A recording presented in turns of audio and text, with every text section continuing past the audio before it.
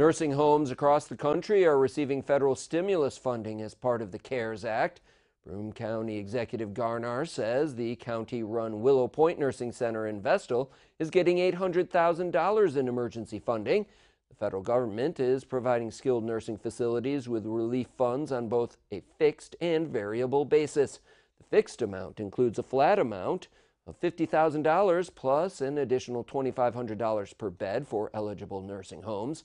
Garnar says the money will assist Willow Point with a cash flow problem as its revenues have gone down because it has stopped accepting new patients since cases of the virus were confirmed in the facility back on May 13th. Willow Point currently has 38 residents with COVID and has had five deaths.